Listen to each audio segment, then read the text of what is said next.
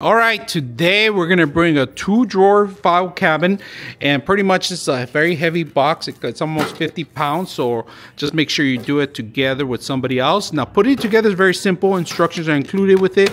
You are gonna need some tools. We'll let you guys know what it is after we completely open it up.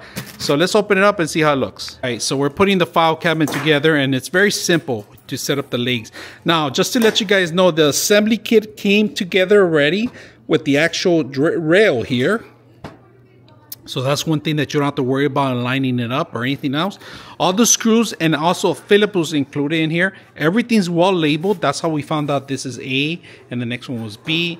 And if you guys can see, they all have letters on it. So it's making it easier to install and put together. So right now, this is step number one, just to put the feet in place. And they're gonna keep doing step by step. So let's go ahead and continue.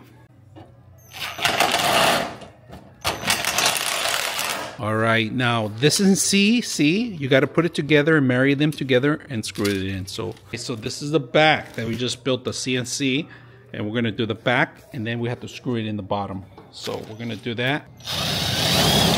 All right, we're gonna put the piece D now, and this is very simple. It just slides in there and it locks in, so you can see that. All right, once we get the top on, you got to put eight screws on it, all right? Eight screws go on the system. It's very important on those steps. You have to unlock it first, twist it, all right? Keep twisting it all the way, make sure it's locked, unlocked. That's perfect.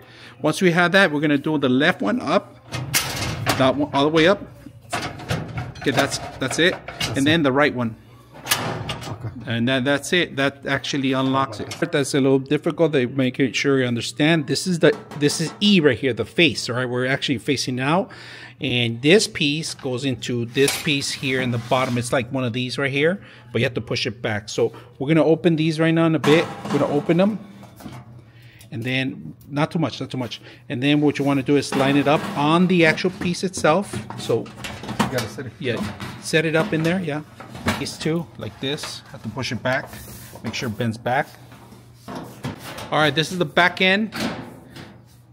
And it locks in place just make sure it locks. Push it.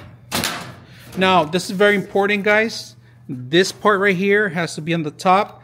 And then the actual inside if you guys can see this is the inside that we have to make sure it locks. Right this is the crossbar that we're going to set up if you guys can see. This is how it looks. The the last part is out. It has to go in here right All right, so now this one, we're gonna actually marry the both systems together. And there's a couple of hooks that you should be aware of. They're right there. I'm gonna show you guys. we drop them in here. This. this is the little hook right here, if you guys can see that. They hook up in there and they just fall. Make sure they hook and it goes completely all the way up. There you go. There's that. Once you lock them in place, make sure you do this. This is necessary. They have to snap in there in order for that to lock in place. You guys can see it, this is the final product right here. Uh, you have your drawers in here. You got plenty of space in the top.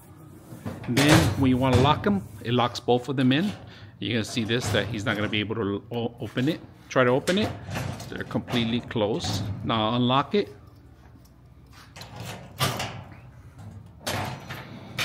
There you go. Let's take the key off. like the keys. The keys are transformable. Look at that. Also too. I'm gonna measure from there to there. It's about 29 inches, all right? And then we're gonna go with the width. 30.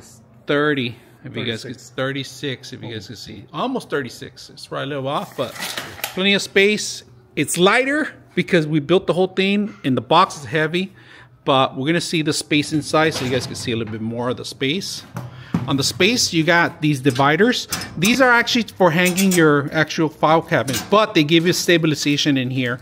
Just follow the instructions on how to set these up, how to open as a butterfly, the top and the bottom, and you get the drawer. Now, they do give you two larger screws, and that's for the back.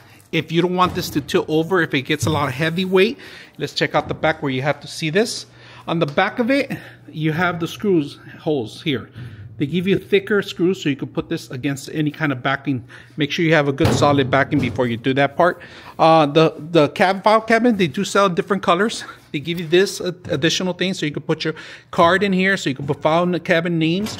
Uh, you can put labels and so forth. You cannot open both of them at the same time because if you have file cabinets forward, it's going to tilt the whole system over. So if you try to open the top, it's locked. You have to close the bottom one first, and then you will eh, be able to open the the top. So that's very important for anybody that wants to open the file cabinet. You have heavy weight. You got to keep. You got to tilt the weight back too. So you got to balance it out. That's very important, crucial. Don't try to open them both at the same time. It's a safety mechanism. So I hope you guys enjoy the video.